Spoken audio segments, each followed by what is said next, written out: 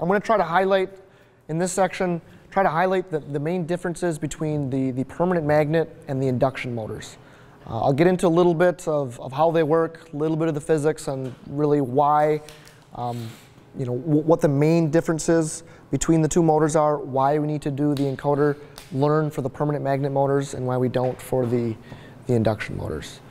Um, so ultimately, the difference between the two is going to be how the rotor is magnetized. So on a permanent magnet motor, the rotor is going to have actual permanent magnets, rare earth metal magnets, embedded on the rotor itself, uh, versus an induction motor where it's actually just going to have a, um, a, a, steel rotor.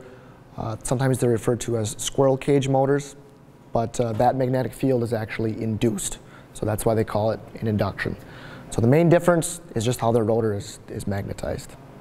Um, if you start out on the, on the most basic uh, sense, if you have current going through a wire, the direction of the current is going to dictate the direction of the magnetic field.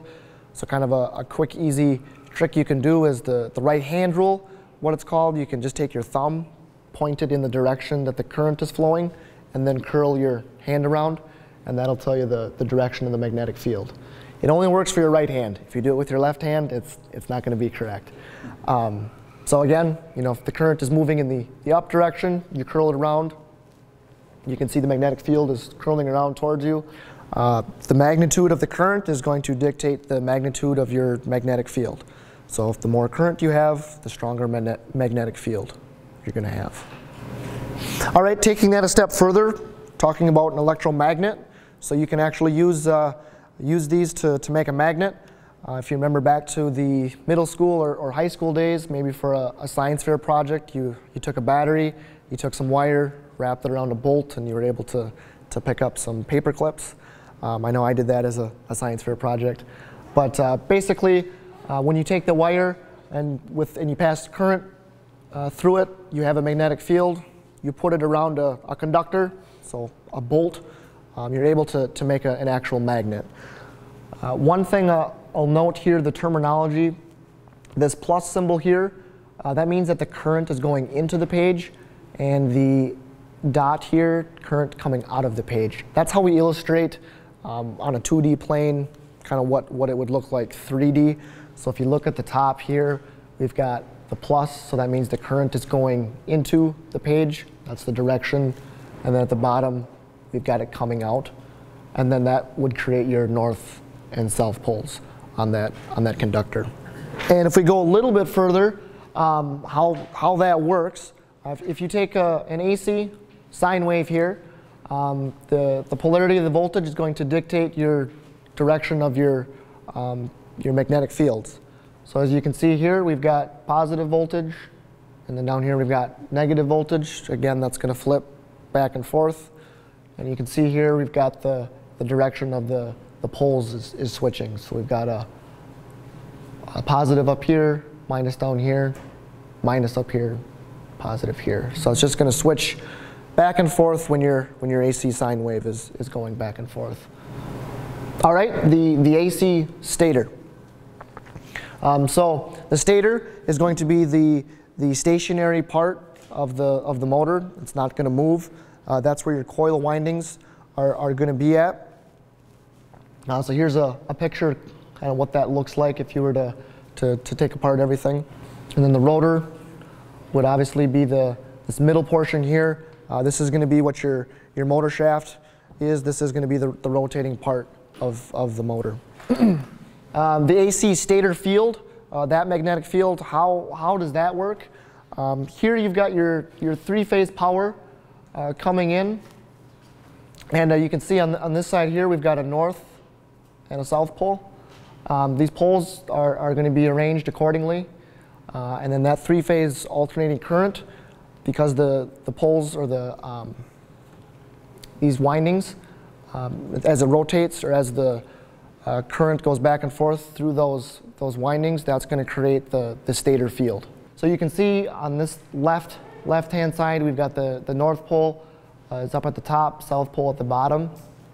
And if you look at where you are uh, on your incoming side here, uh, you know, we've got the, the phase A is going to be up at the top here, and the other phases are down here. As you go on to this next picture, you can see the North Pole moving in a, in a clockwise direction, and you can see your, your phases are changing accordingly, and then it continues to move on to the other side here. Um, so again, as your, as your incoming power um, is, is going up and down the, the AC uh, uh, sine wave, that's going to create that, that rotating uh, magnetic field on the, on the stator. Um, the synchronous speed, that's going to be the speed at which the, the magnetic field is, is rotating.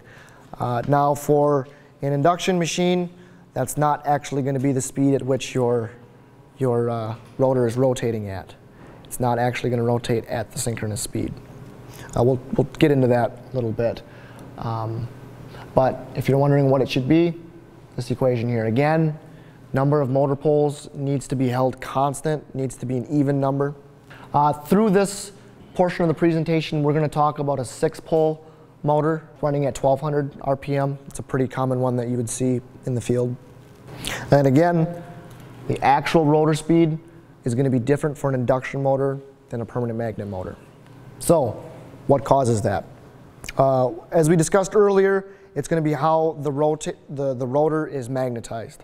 Uh, again, the permanent magnet motor actually has permanent magnets made out of rare earth metals that are embedded on the, the rotor itself.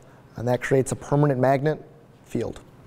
There are different, um, there are some different mounting methods that those magnets may actually be mounted to the, to the rotor, um, but we're just going to focus on a, on a surface mounted configuration. What's the same between the two? It's going to be the motor, the stator itself, and the stator coils. Those are going to be roughly the same be between the two, two motors. It's only the rotor that's different. So here's a, a picture of what those magnets actually look like on the uh, permanent magnet motor. Uh, you can see here, this is what it looks like on the, on the rotor. Uh, David was just saying that um, you know, the tolerances between the, the magnets and on how they're embedded on the rotor itself um, are very, very small. So if you are, are, installing the motor and it gets bumped uh, against something, it doesn't take much to destroy those. Uh, and that is actually going to be reflected in the encoder position that we'll talk about when you do the encoder learn. Um, so kind of talk about why, what causes that, why they so, um, why are the tolerances so low, you know, why it matters that if your, your position count is only off by a, a few thousand counts, why you can have, that's the difference between a, a running motor and a not running motor. So yes, the permanent magnet motors uh, as a whole, they are more efficient, they're great, uh, but they are much more uh, sensitive to, to those types of things there the, the physics behind the, the magnet, permanent magnet motor. Now, if we just think about it on a real basic level, we've got the magnetic field of the stator here, magnetic field of the, the rotor, and the angle between the, these two north poles needs to be exactly 90 degrees. That's what's going to generate your uh, torque or your rotation, your force in this direction.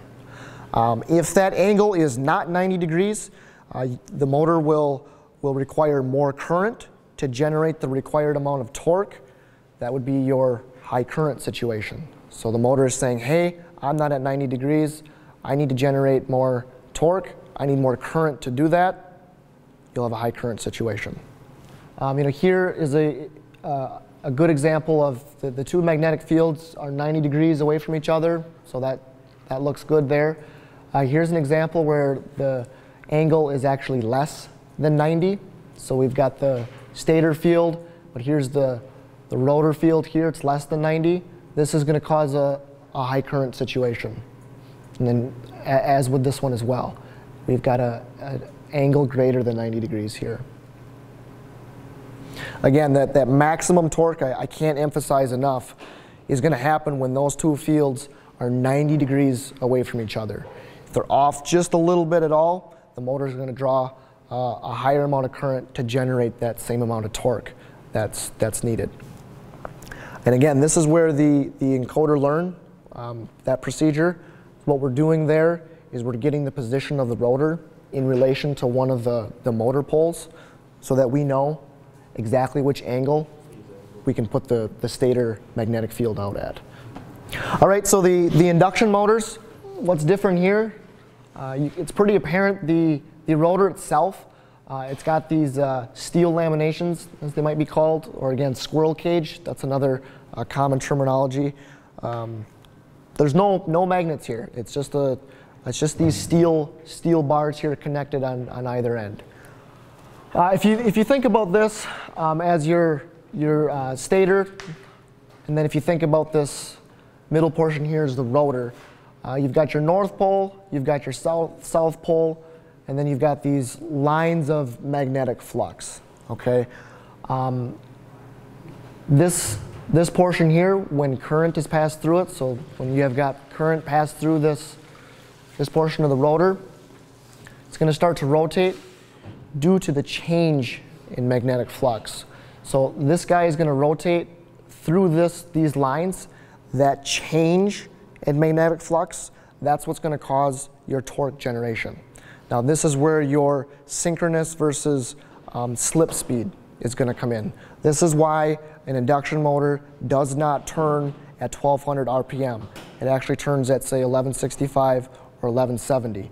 That's because the way this field is rotating around the motor, it has to rotate slightly faster than the actual rotor itself because we need that change in magnetic flux. If it was rotating at the same speed, we wouldn't have that change, so there would be no torque generation. You know, typically we, we recommend around 3% if it's not listed on the, on the motor nameplate. Um, some manufacturers do actually put it, put it in, so that's, that's fine. You can put that in. But um, yeah, anything for 1200, 1170, 1165, that, that works well. Okay, so that was just kind of a, a quick overview, the main differences between the, the induction and the, and the permanent magnet motors.